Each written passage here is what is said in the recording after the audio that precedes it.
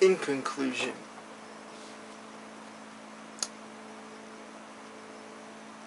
as believers, as people who have been reborn, born of the Spirit, and are now members of Christ's family, we have no need to fear. We have no need to worry. We have no need to be concerned about our standing in Christ. We have no need to worry about a revolving door of salvation. We don't worry if we're saved or not because we know we're saved. We don't worry about Sabbath as a seal because the Holy Spirit in the believer is what seals us for our down payment for heaven. Eternal life is not some kind of gift we receive after we die. It's something that we have the moment we believe. We always have an intercessor.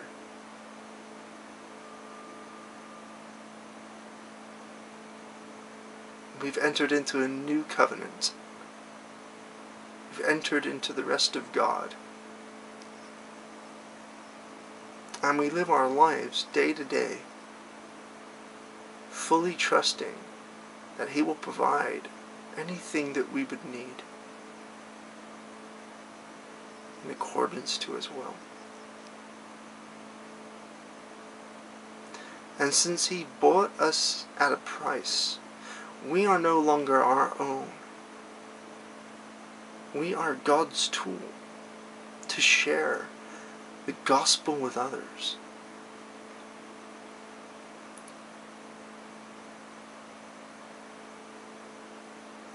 When we get up in the morning, we need to put on the armor of God found in Ephesians 6.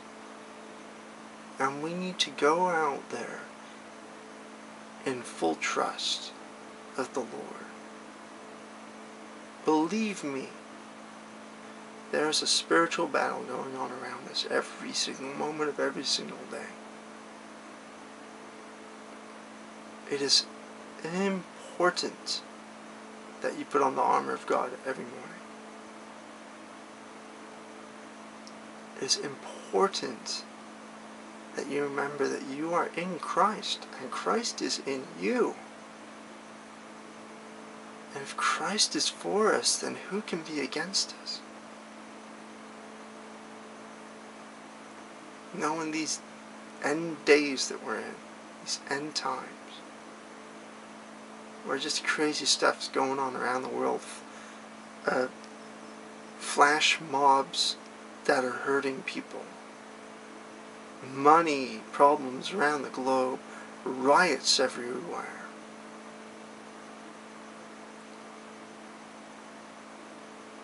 Palestine looking to become a recognized state in the United Nations. All these things are building up to a conclusion. But it's not a conclusion that we as Christians have to worry about. But I want to talk to my Adventist friends for a moment. To my Adventist friends, I love you very, very much. And it pains me to see you so blinded to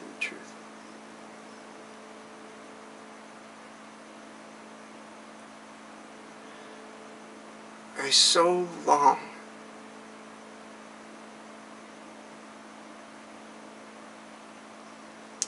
to be able to say that you're truly my brothers and sisters in Christ.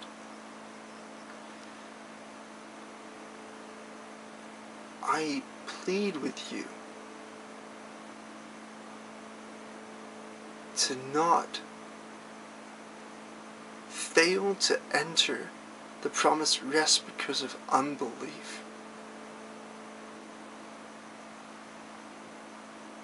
Today is the day of your salvation. Today is the day you can enter that final rest, the rest of God. Read Hebrews 3, Hebrews 4. Don't be like the Israelites who who looked in to, to the promised land and said, Oh, we're like grasshoppers. You may be, but God it isn't. God is more than capable. God came down and died on the cross for you. And you are still worshiping on a day rather than worshiping the Savior who created that day, who cast the shadow of that day back through time. The person who is prefigured by every single element of the tabernacle. The person that makes the Aaronic priesthood null and void. Because he is a priest by the order of Melchizedek, a priest forever, whose sacrifice once and for all took away all sins. Don't deny so great a salvation. It's not about you. It's about you waking up to the fact that you're dead in your sins and you need to be born again. You can do nothing, nothing to bring about your salvation. All of your good works are like nothing. All that you have to do, according to the Bible, is to realize that God has drawn you to Himself, drawn you to the Son, and you need to wake up from your spiritual death and realize the only way I can be saved is if I throw myself entirely at the foot of the cross and give Christ my life, all of it, period. And then you will be born again. And you will never have to worry about your salvation. You will never have to doubt about your salvation. You will always have an intercessor. But unless you realize that you truly have a spirit that's inside you that is born dead in sin, until you realize that truth of the Bible, that your spirit needs to be reborn, then you will never be saved. Never be saved.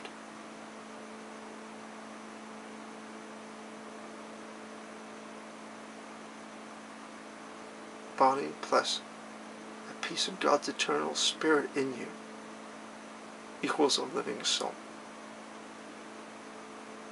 Remaining God's image.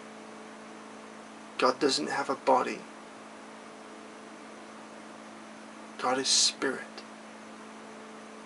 Put a little bit of a spirit in you. Because of Adam's sin, you're born with that spirit dead and aligned with sin, aligned with Satan. Until you realize that and you accept Christ's sacrifice on the cross that what happens in Colossians 1 happens. And what happens in Colossians 1 is the biggest miracle of all. What happens in Colossians 1 is nothing short of amazing.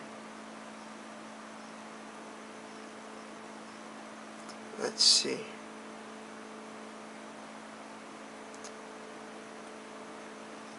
says in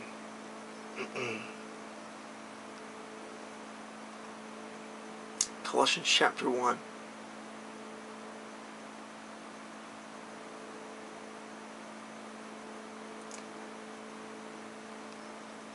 Paul, an apostle of Christ, Jesus by God's will, and Timothy our brother to the saints in Christ at Colossae, who are faithful brothers, grace to you and peace from God our Father.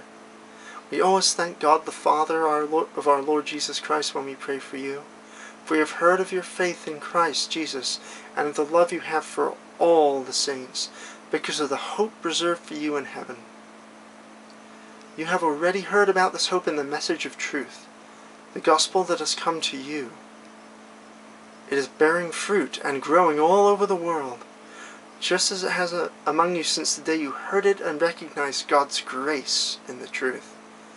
You learned this from Epaphras, our dearly, beloved, dearly loved fellow.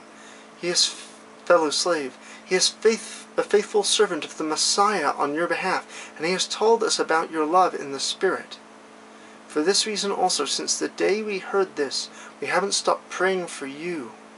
We are asking that you may be filled with the knowledge of His will, and all wisdom and spiritual understanding, so that you may walk worthy of the Lord, fully pleasing to Him, bearing fruit in every good work, and growing in the knowledge of God. May you be strengthened with all power according to His glorious might, for all endurance and patience with joy giving thanks to the Father who has enabled you to share in the saints' inheritance in the light. He has rescued you from the domain of darkness and transferred you transferred us into the kingdom of the Son he loves. We have redemption, the forgiveness of sins in him. He is the image of the invisible God, the firstborn over all creation. For everything was created by him in heaven and on earth, the visible and the invisible, whether thrones or dominions or rulers or authorities, all things have been created through him and for him. He is before all things, and by him all things hold together. He is the, also the head of the body, the church. He is the beginning, the firstborn from the dead, so that he might come to have first place in everything.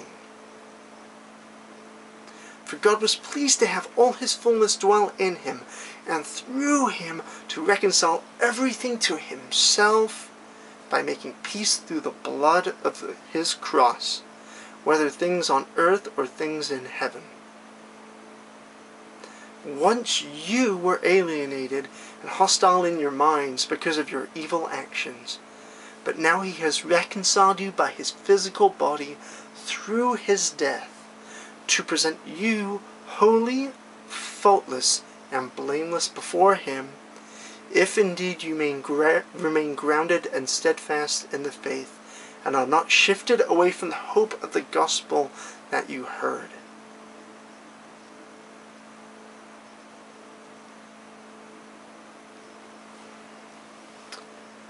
Paul is saying that the moment you believe, the moment you wake up from your sin, and you believe, then your spirit is reborn because the Holy Spirit comes into you, fills you, and seals you. You are transferred immediately with no probationary period from the kingdom of darkness, domain of darkness, to the kingdom of the Son. And you're always there. You are always there. It's as simple as that. By grace through faith. There's nothing you can do except wake up and accept the gift by grace through faith. Call on His name and be saved. And enter that rest. Now is the time. Don't need to be scared of this. You won't even be here for it. won't even be here for it.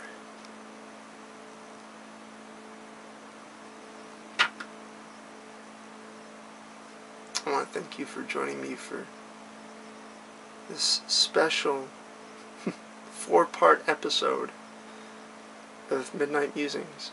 It's now 4.02 in the morning. God bless you guys. It's been a pleasure sharing the word with you. I hope that you find God. I hope you find freedom in Christ. God bless.